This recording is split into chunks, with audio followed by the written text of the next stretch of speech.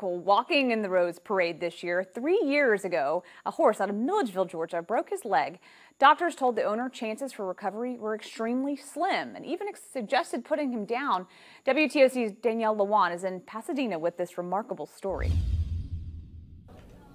A heartwarming story coming out of our very own Savannah, Georgia. Meet Rusty, who was injured three years ago in our St. Patrick's Parade, but as you can see, he is back up fully in action and will be the lead horse and the coach on the Rose Bowl Parade this Monday.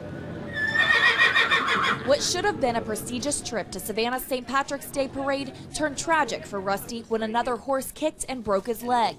Him and uh, another horse got into it, and the next morning, I mean, the horse couldn't hardly walk. His owner took him to the vet, but things didn't look good at all. The vet said, David, I understand he's not a racehorse. I mean, I don't know what this horse means to you. I said, he means the world to me. He's my lead horse. He's my quarterback. David had full faith Rusty would one day get back in the game. He took the horse to the University of Georgia for top treatment. And I believe in Rusty.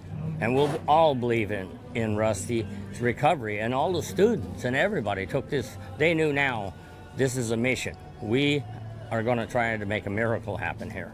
And three years later, that miracle did happen. Rusty will be the lead horse and one of the two six horse coaches in the Rose Bowl parade. Rusty is going to be leading one of them. What an honor. You are such a good boy. Yes, you are.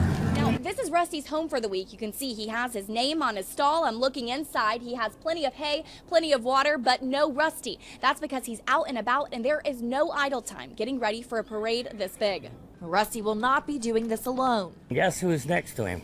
His full brother, Rowdy. His owner says it was that brotherly encouragement that pushed Rusty to recovery.